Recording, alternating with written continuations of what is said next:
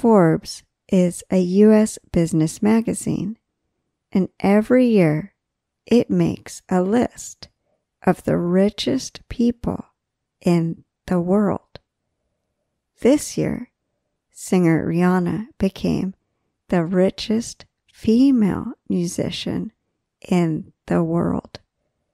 Rihanna earns about $1.7 billion, but her money comes from more than singing. She is a successful businesswoman too, and she works with the world's top fashion and cosmetics companies.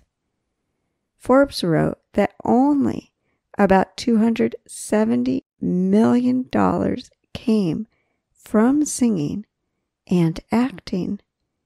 Yet not all of what Rihanna did was a success. One of her fashion businesses closed down in November 2020. The reason was the coronavirus pandemic, which affected more than small businesses, but also luxury brands.